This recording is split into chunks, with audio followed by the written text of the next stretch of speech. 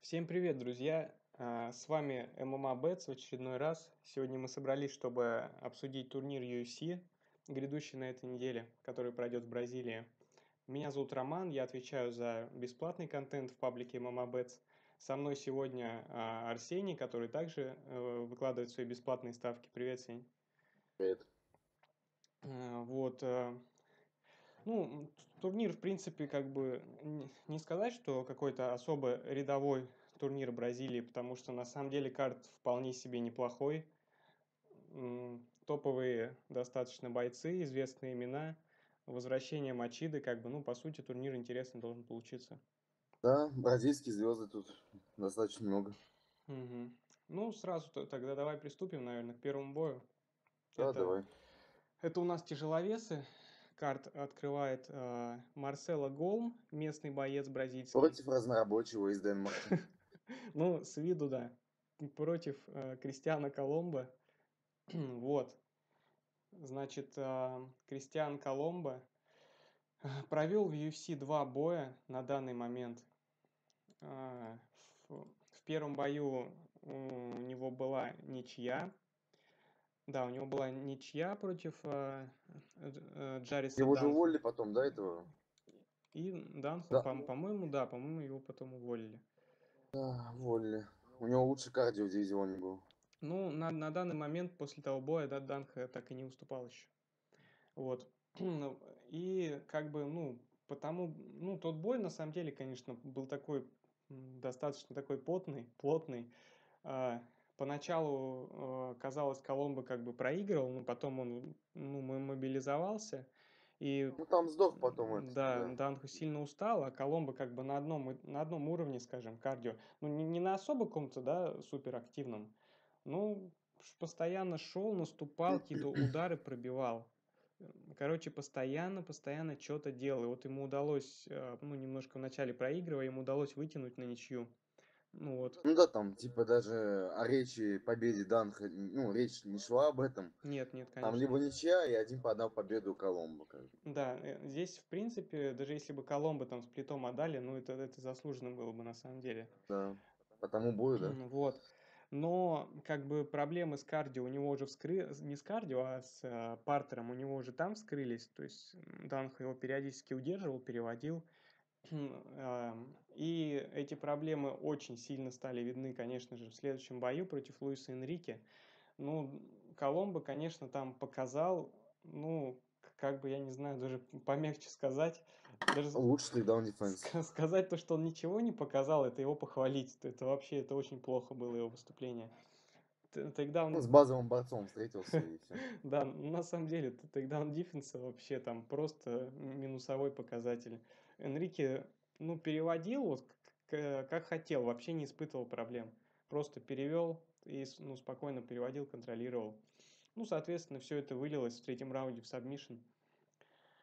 Да, если бы Хенрики сам получше был бы, он бы в первом еще досрочил на самом деле. Я, я, я думаю, что да. Ну, как бы Коломбо такой соперник, которого, по идее, можно проходить, если ты в борьбе немножко понимаешь. Вот. Мной, естественно, как бы здесь мы задаемся вопросом, Голм вообще что, в борьбе понимает или не понимает. Я посмотрел его бои, не все, конечно, но у него всего 5, как бы не так и много. В первую очередь, конечно, вот просто мы даже Topology открываем, мы смотрим на его соперников. Естественно, друзья, обязательно этот момент учитывайте, то, что у него не было даже ни одного соперника с положительным рекордом. То есть не говоря уж там о бойце ну, а, уровня UFC, а, даже просто какого-то середняка у него не было. То есть там бойцы крайне все слабые.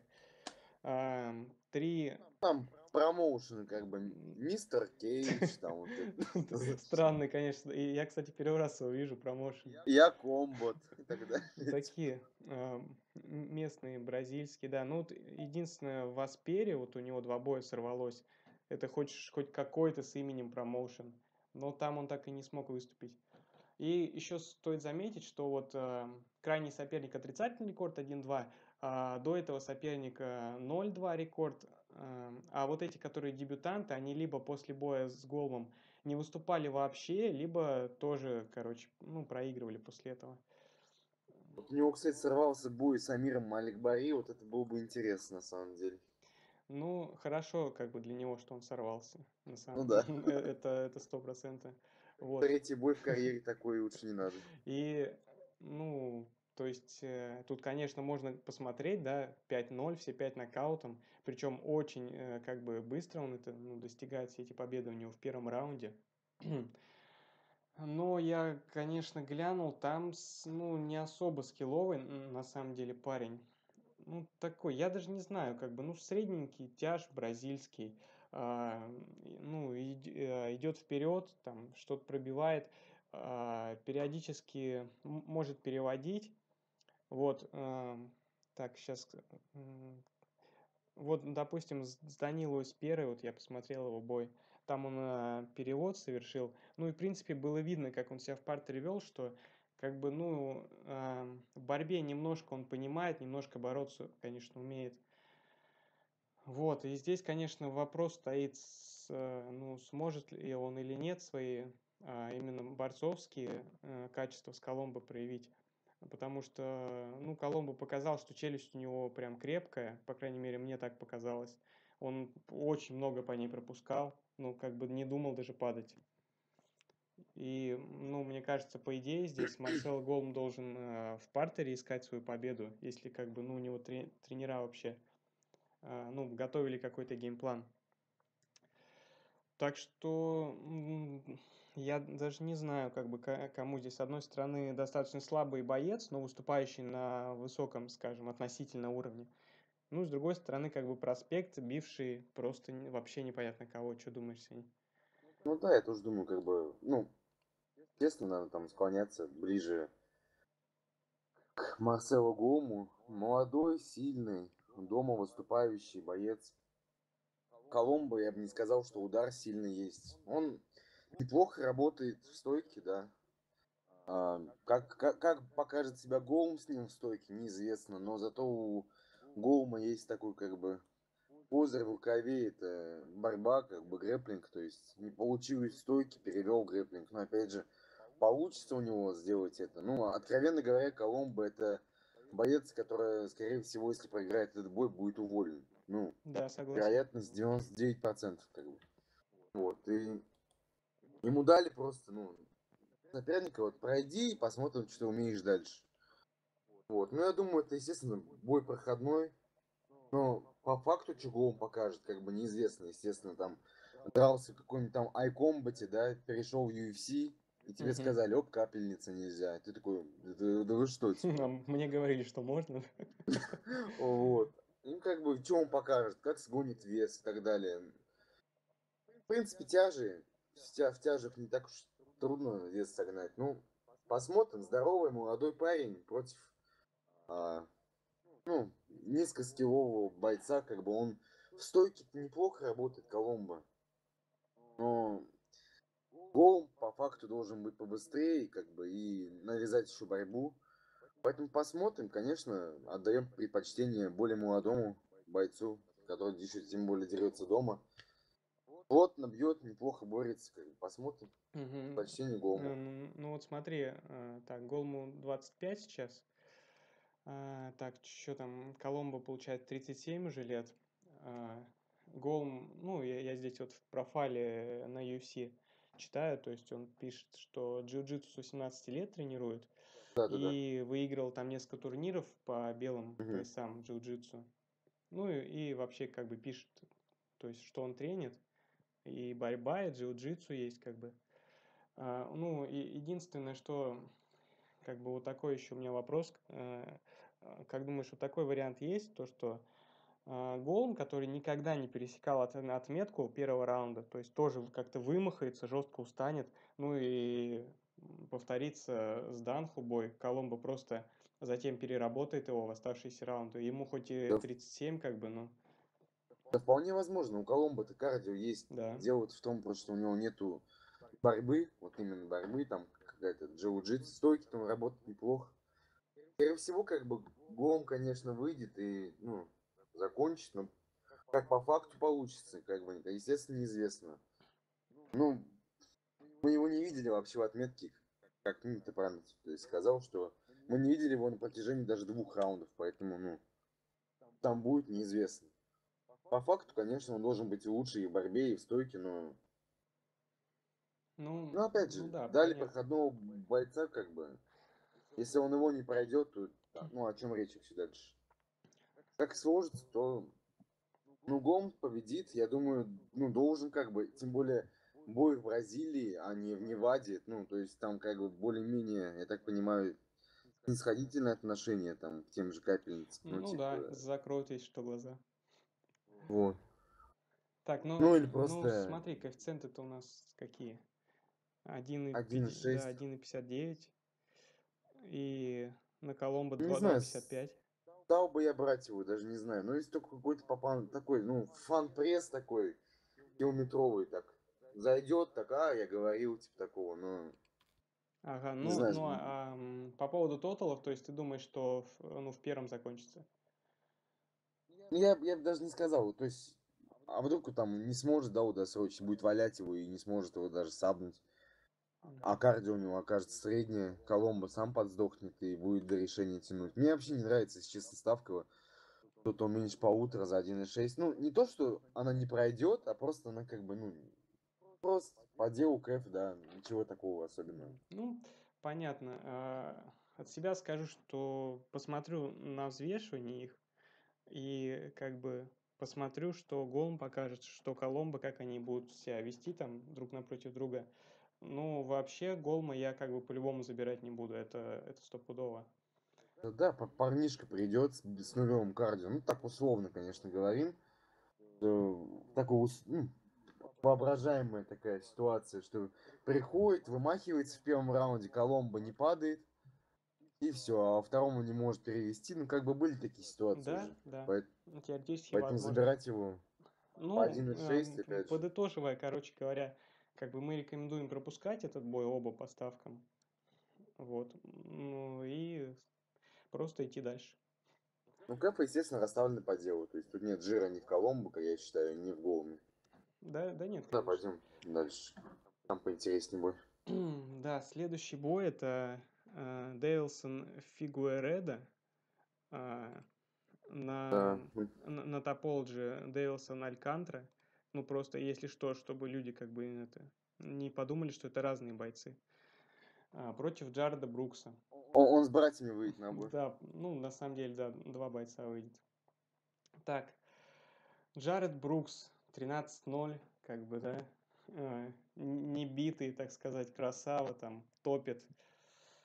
Извини меня. Извини меня, дрался в Ахмате, как бы здесь, что, надо, Почти еще, русский. еще надо что-то говорить, что ли, он вообще-то в Ахмат приехал и победил, так что, Почти так наш. что все, вот. Кровинушка.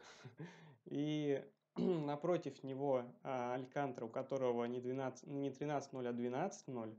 То есть, как бы, по сути, тоже а, боец, за которого, как бы, ну, притопить, пока он не проиграл, можно. Вот. а, В прошлом бою Алькантра, напомню, победил Белтрана. Вот, и причем, ну, так достаточно хорошо.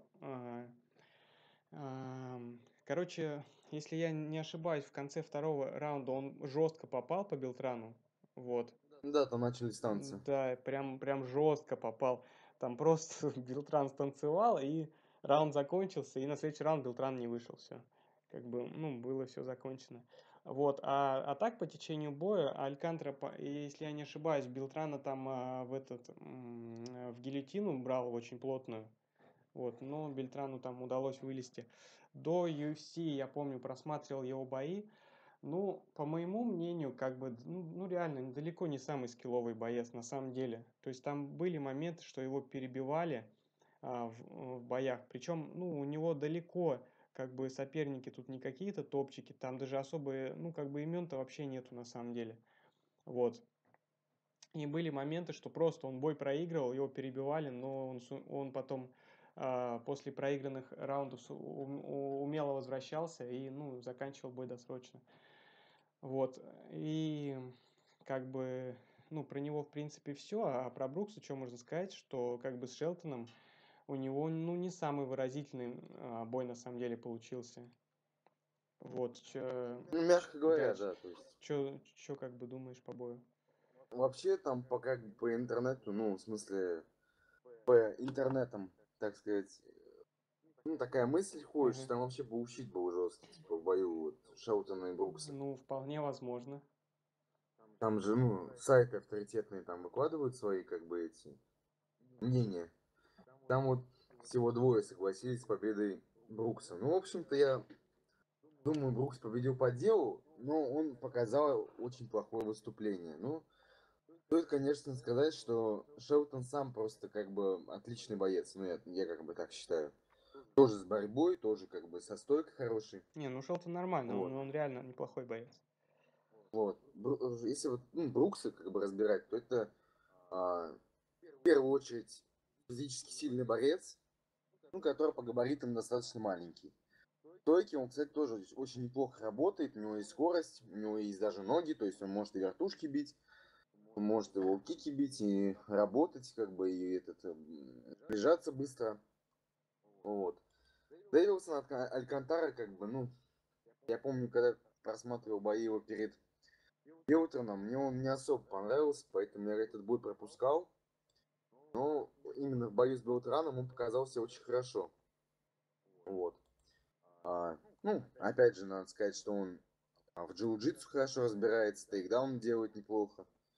А, сильный панч имеет, неплохую технику на руках имеет. По факту, как бы, ну, понятно, что будет делать Брукс, как бы это, ну, не секрет ни для Ну кого. да, будет то же бороться, самое, что и во всех боях своих. Да, то есть переводить в партер, там, залеживать, сетки и так далее, попытки какие-то на, на сабы выйти и так далее. Ну, я думаю, Дэвилсон ему доставит, ну, кучу проблем, как бы. Я думаю вообще, что Дэвисон может этот бой закончить досрочно. Я думаю так. Именно из-за такого момента, что Дэвилсон сам в борьбе разбирается достаточно хорошо, и он... Я считаю, что Дэвилсону под силам заблокировать и уйти от тейкдаунов а, Брукса Мгм. и напихать ему в стойки с рук, с ног и так далее. Ну, с рук, с локтей напихать ему в голову до того момента, пока он не скажет хватит. Ну, я думаю, так будет. Но, естественно, Брукс фаворит. Брукс фаворит по делу. Как бы, ну, нужно тоже понимать, что а, на Брукса какие коэффициенты давали тоже с тем же Шелтоном, там давали 1,6, да, Мгм. по-моему. Эм, Там с Шелтоном, да? 1,7 давали Ну-ну-ну. с этим, с э, Яном Макколом. Ну, естественно, что на бой с Фигуэрдой на него дадут 1,5, 1,5, да, там, ну, как бы коэффициент абсолютно, ну, логичный, как бы, по делу. Ну, как сложится бой, я вот думаю, что, как бы, у Дэвисона здесь есть преимущество определенное. Ну, Как, как сложится, непонятно, ну, как бы, неизвестно еще. Брукс, естественно, физически сильный борец, отлично работает и в стойке, как бы, и, и не глупый парень вообще, в принципе. Но я думаю, что Фигуэрда здесь, ну, лично для меня предпочтительнее смотрится. мгм. Ну вот, э, если честно, как бы, я, в принципе, тоже здесь э, чисто для себя решил, что Алькантру рассмотрю. Э, Ну, опять же, естественно, после взвешивания. Потому что, как бы, помимо того, что у него, на, у него на самом деле нормальные скиллы, как бы, как, как оказалось, а, плюс он будет э, крупнее Брукса, немножко длиннее Ну, руки. там не намного, но да, Ну да, на, на 5 сантиметров выше. Но в любом случае это как бы уже что-то. Плюс а, его скиллы в джиу-джитсу, у него они нормальные. Поэтому я с тобой согласен с тем, что он, в принципе, может даже досрочно закончить. Как бы у него и, и гильотина там вообще отработанная на самом деле. А, Ну, ну, ну, как бы, я не знаю, если честно, Брукса брать за 1.56 против, как бы, такого опасного бойца, мне кажется, наверное, не стоит просто. Вот. А, Да, тут как бы даже ТМчик неплохо ну, да, за э, 2, да, я за вот, я вот 2,3. сейчас тоже смотрю, да, а, на, на западных 2.7, Total меньше 2.5. Ну да, ну только там, в смысле, там уже два раунда и Да-да-да, два с половиной ровно раунда. Ну и на, на паре матчей 2.3 за неполный бой. Ну, вот на самом деле, как бы над этой ставкой, мне кажется, стоит подумать. Как бы, ну, учитывая все, учитывая а, самого а, Алькантру, даже, допустим, э, ну, его послужной список, как бы парень-то, э, финишер на самом деле. У него вот просто в карьере всего один бой дошел до решения. Поэтому, ну, по моему мнению, ТМ-ка здесь смотрится весьма не перспективно. Да, ну, конечно, там непонятно, что там по кардио фигурирует и так далее. Там, ну, в Бразилии драться там одно, там, в смысле, в таких промоушенах второсортных. UFC это, конечно, совсем другое. Ну, как бы вот по, по стилям мы расписали. Мгм. Ну да, в принципе.